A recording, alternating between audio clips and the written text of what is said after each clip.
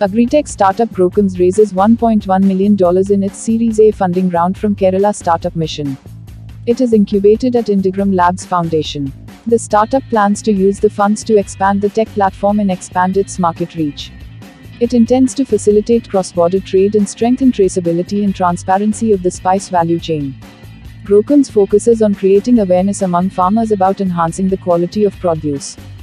Growcoms was founded in 2021 by George Kurian Kannanthanam, Bibin Mathews, and Narendranath P.